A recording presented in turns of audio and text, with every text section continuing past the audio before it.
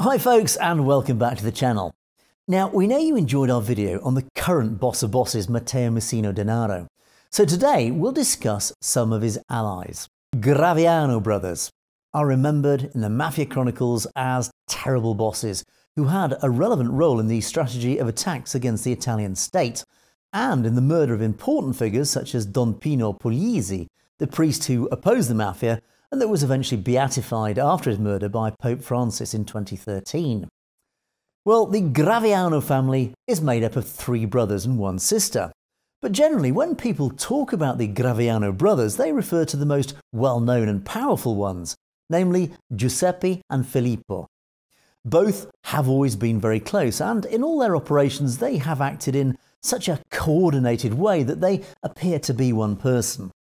According to the statements of some turncoats such as Drago Giovanni and Calvaruso Antonio, Giuseppe and Filippo had equal prestige and were both the minds behind most of the group's strategies, while their brother Benedetto was the strong arm, the one who used force to reach those set objectives. In the 1990s, the three were the undisputed lords of the Brancaccio neighbourhood in Palermo.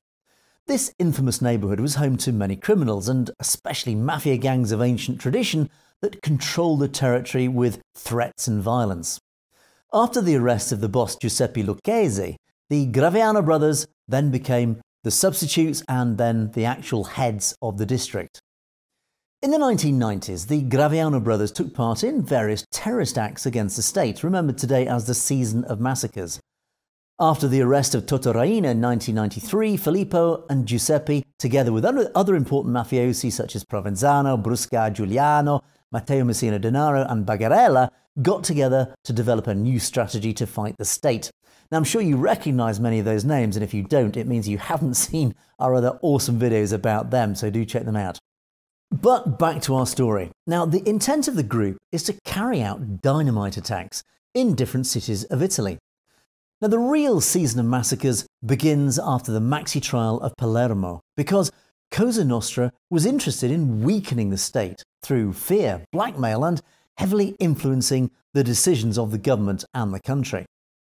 The attacks take place between 1992 and 1993, and Cosa Nostra's main targets are various controversial political figures such as Salvo Lima, members of the judiciary who strongly oppose the mafia, such as Falcone and Borsellino, but also symbols of Italian cultural and artistic heritage, historical buildings and tangible memories that have made the country's history. So, the first city to be hit is Florence. On November the 5th, 1992, an explosive device was placed near the statue of Magistrate Cortius in the Boboli Gardens, a historic park in the city, and a true open air museum. A few months later, a car bomb exploded in Rome in Via Fauro in Parioli, one of the most important districts of the capital. Now, shortly before that, the journalist Maurizio Costanzo had passed by. Now, he remained unharmed, but 24 people ended up being injured. Florence is attacked for the second time on May the 27th. Near the Torre dei Pulci, a van full of explosives blows up. 41 people are injured, 5 dead. The Uffizi Gallery also suffers a great deal of damage and many works of art are severely damaged. On July the 27th, Rome and Milan are both hit, and a bomb explodes in the Basilica of San Giovanni in Laterano, and a second in Via Palestro. In all of this, the Graviano brothers have a very specific role. In fact, they're the ones who have handpicked the team of criminals who then carried out these terrorist acts.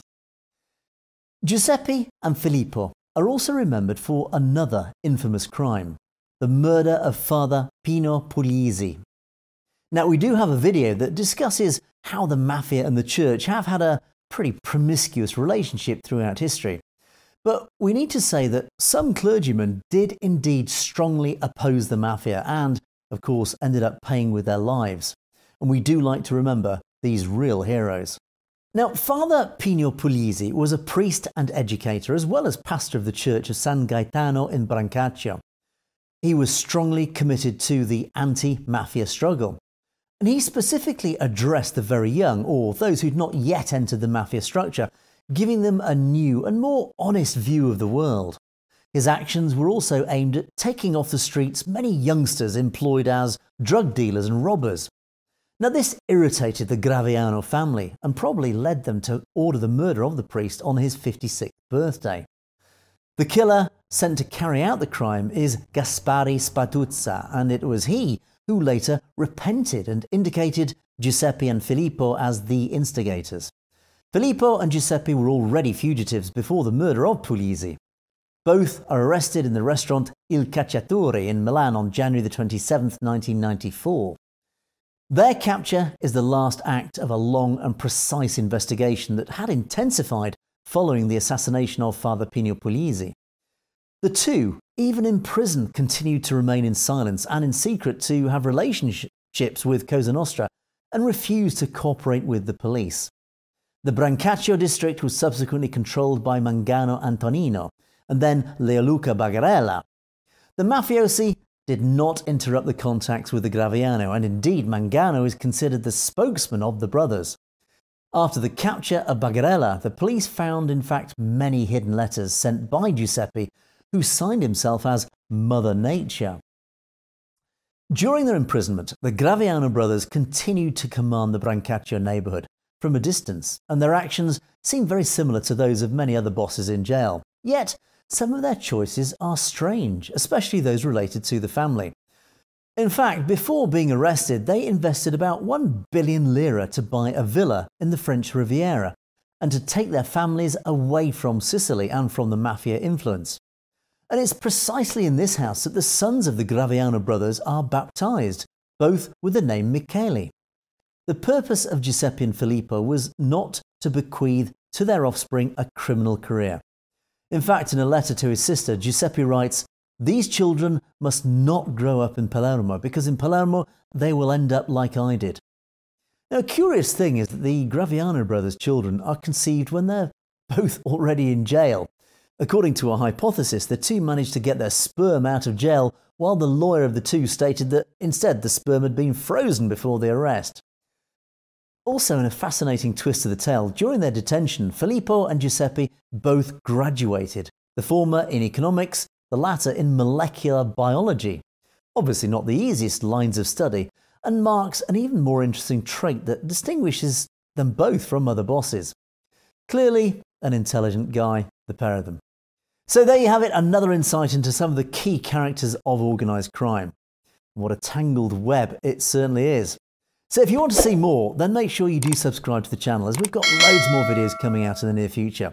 But until next time, ciao.